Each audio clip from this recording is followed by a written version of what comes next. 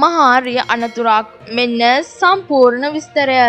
තේදල් ප්‍රවාහනය කරන ලොර් රථයක් මාර්ගෙන් ඉවතට පෙරලීමෙන් එම ලොර් රථය රියදුරා ලොර් රථයට යට වී රෝහල්ගත කිරීමෙන් පසු ජීවිතක්ෂයට පත්වී ඇති බව දිමුලපතාන පොලිසිය පවසයි. මෙසේ ජීවිතක්ෂයට පත්වී ඇත්තේ කොටගල ප්‍රදේශයේ පදිංචි කරුප්පයියා කාතිගයන් නැමති එක් දරුපියකි.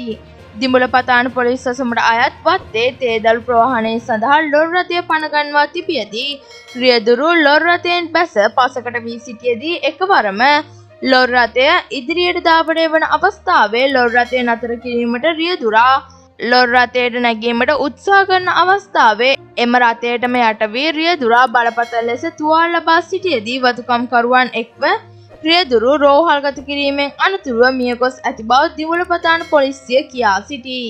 මේ අතර කොරෝණ ආසාධිත වුවන් දාහත් දෙනෙකු මරණයට පත්වී ඇතැයි සෞඛ්‍ය සේවාධ්‍යක්ෂ ජෙනරාල්වරයා තහවුරු කරයි.